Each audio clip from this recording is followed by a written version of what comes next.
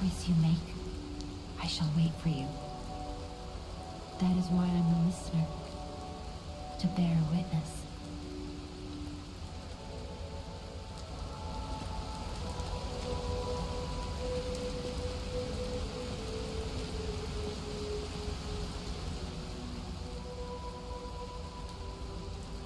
Oh, this device must be powered by gold coin fruit.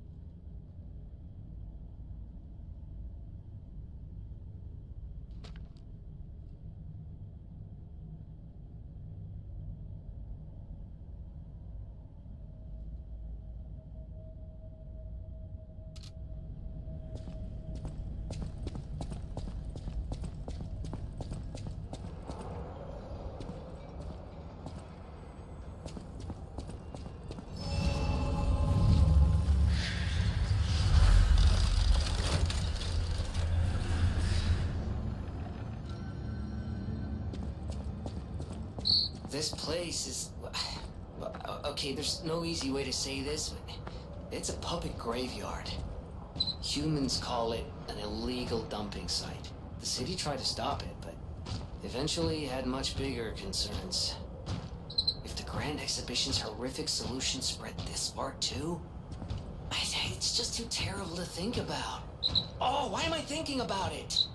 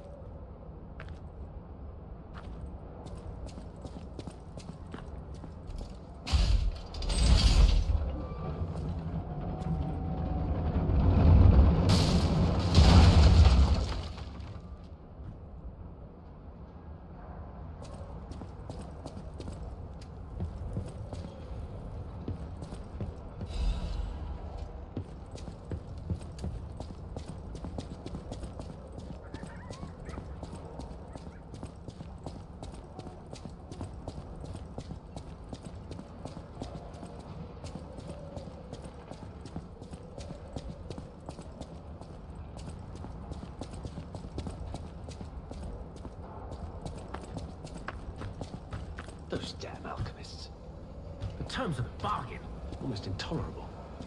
Well, it's not like I care about those hotel people anyway. But there are limits.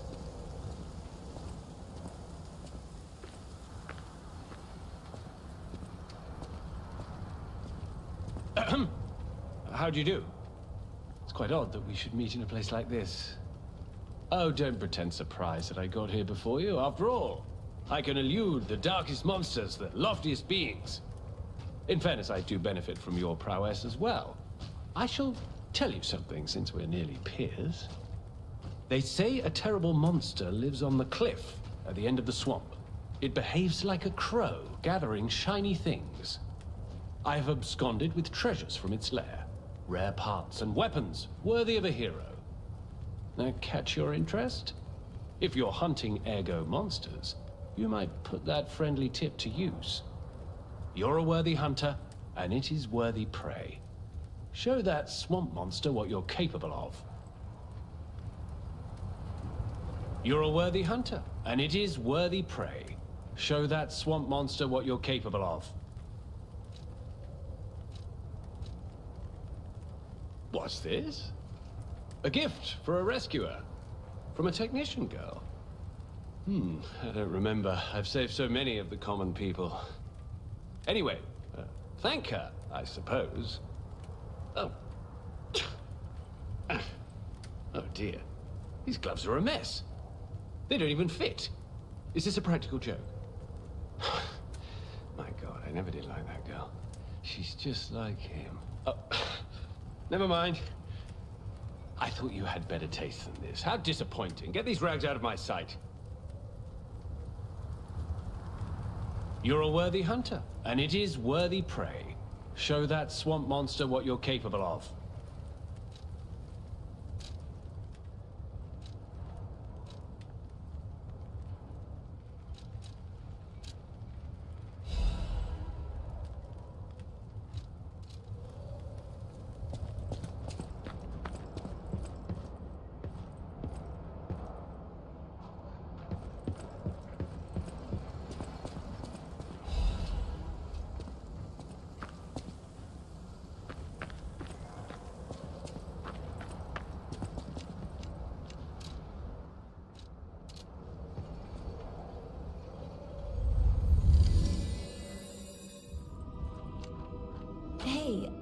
About my request last time. Did you give Alidoro the gloves? Phew. Even the Union's advancement test didn't make me this nervous. Alright, I'm ready. Tell me the truth. Did the gloves make Alidoro happy?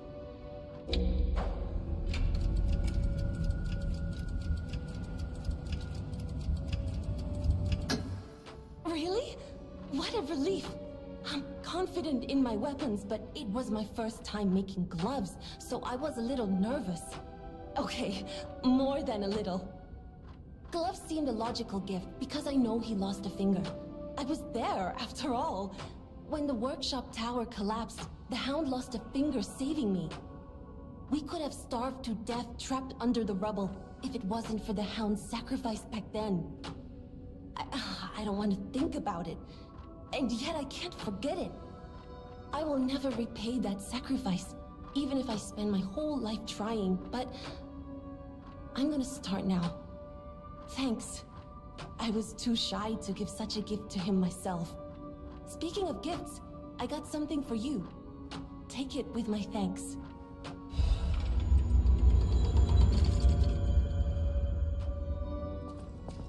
Whatever choice you make,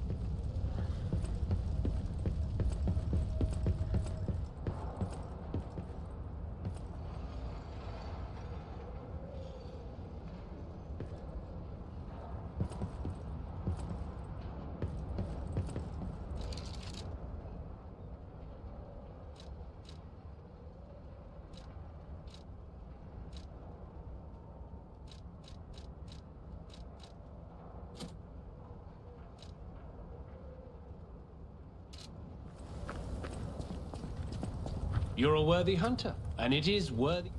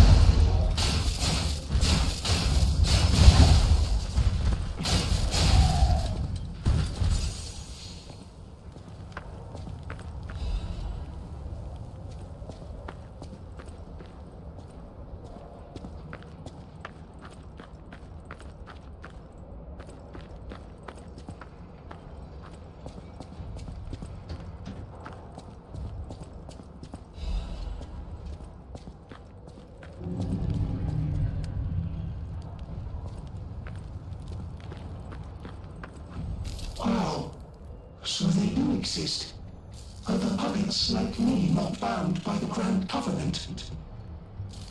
I thought I was forever alone. Without the Covenant, my kind hates me. Monsters, humans, puppets, they all hate me. But I want to be friends with humans. If I learned how to feel, would that be possible? If you tell me how, I'll return the favor. I want to learn how to feel. Hello, my only friend. What have you come to tell me?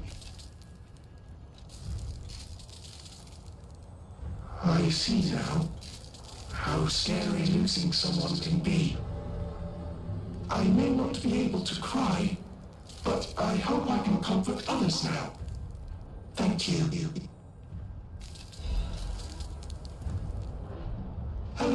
Friend.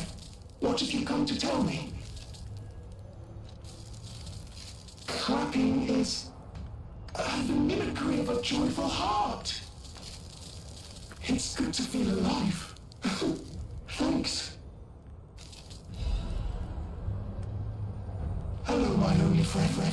What have you come to tell me?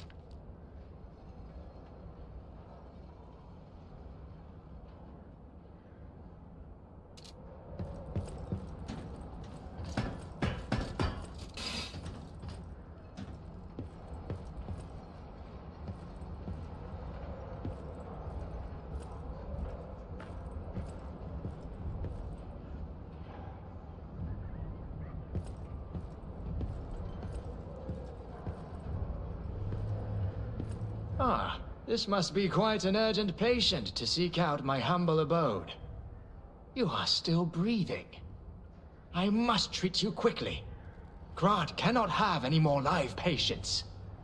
Trust me, it's better this way. Tis far nobler to die as a human.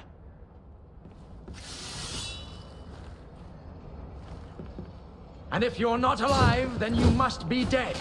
That's just logic.